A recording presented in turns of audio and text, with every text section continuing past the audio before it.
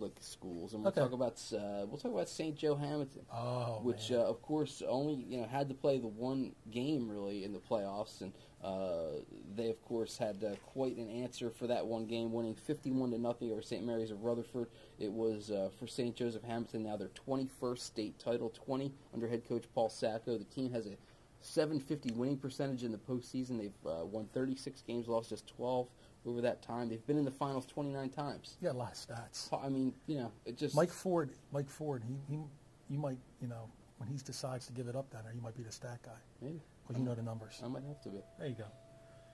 Hey, but But talk I about told you last week. What did I tell you last week? that it wasn't going to be if they win. It's by how much. And how many did I tell you would be the the over- the, uh, the, uh, I the think you number? said 40 something. Forty-five. Yeah, I told did? you the forty-five was good. 51. Fifty-one mil. no problem for the Wildcats. Yeah, nobody thought it was going to be a problem for them. No. Not at all. I mean, it's just a totally different brand of football that, that they play compared to the the lower groups up north, and uh, obviously that showed. Um, you know, if you know St. Joe, you want to talk about our team of the year. Everyone knows that that's the team of the year. There's no Right. there's no surprise there. They end up number one. Once they got the number one spot after beating Holy Spirit, that was it. And uh, you know, if you check out the paper on, uh, I believe in Sunday's edition, Yes. we'll have the, the, the, the display on the team of the year that uh, their numbers are just are just mind-boggling, and um, you know people will say, well, they didn't play anybody, their strength of schedule wasn't that great and everything, but you know what? They still had to go out and do what they you know can't just go out there and say, okay, game over, we win by you know we win, but they went out and you know they owned the field every time they stepped on it. And they so. did beat some good. I mean, they beat Holy Spirit. They beat Hamilton. And they beat a couple of quality teams Yeah. that, that did play uh, in, in state final games. So Sure. it's not like they played nobody all season. They, you know, there certainly were some uh, easier teams than, Sure. than your maybe your typical uh, West Jersey Football League American Division might throw at you every week. But Right. nevertheless, they played who They they, who they played who was on their schedule, and they beat the teams uh, that they had to beat, including a couple of good, good squads. It wasn't a beat; it was a beat Yes. down. Every Yes. team they played, so not even not even close. Very uh, a very thorough season. You know, got their ten games, but in ten games they were completely thorough, and uh, this, the, the numbers are just the numbers are just when you look at them, they'll just jump out at you. And Kevin, they finished, uh, as you said, the number one team in the Courier Post rankings. Uh, Sure. just uh, maybe just highlight that team a little bit about you know their, what made them so special. I mean, the play was it you know were there certain players on this team that really Oh, carried them? sure. I mean, I mean, they the first things, the, the two names that jump out uh, jump out at you will be Kawan Lewis going to South Carolina, and Max Valles going to Virginia. Um, Lewis playing a linebacker and, and Valles playing a defensive end. Those are the two names that jump out at you.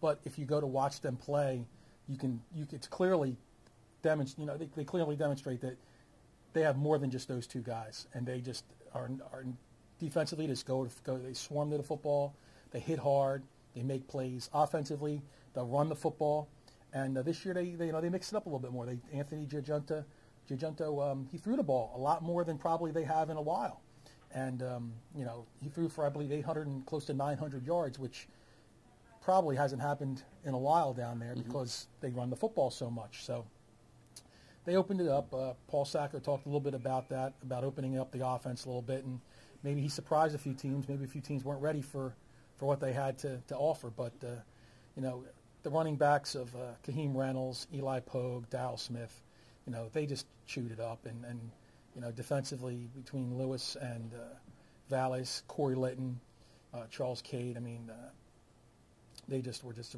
just you know phenomenal for lack of a better word. So they truly deserved everything they got. And what's one last thought on St. Joe's? The fact that they're such a small school, but they have this tremendous tradition of winning football and this amazing ability to win year after year after year with a real small population. Uh, I mean, like, i i- can, is it hard to fathom? I mean, you think about. I mean, how many boy, how many? What do they have? uh, Maybe two hundred boys I don't think there's school. that many. If that. There may be less than there may be around hundred. so okay. But the thing is, you know, if let's face fact, if you're an eighth grader and you're in a you're in an area in which St. Joe is is a is a choice for you, Mm-hmm. you see what they do. If you're a pretty good eighth grade football player and, and you have some some options, mom and dad are going to give you some options.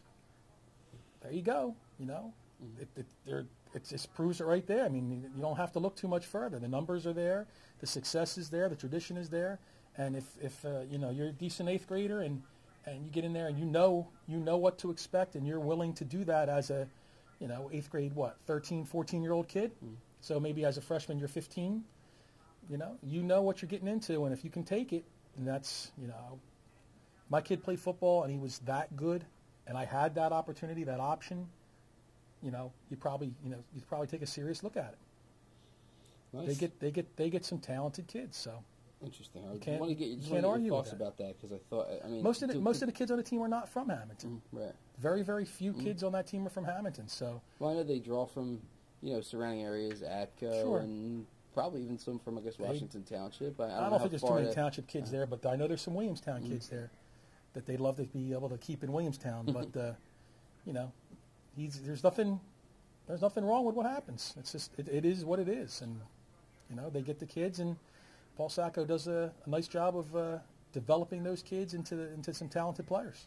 So St. Joe's wins that uh, non-public one. They won that on Saturday uh, of last week. Let's talk about non-public group two, and uh, I guess you know the final score. Holy Spirit wins 51-7. I guess if you talk about the weekend as a whole, the score of that game was probably maybe the most surprising thing that happened.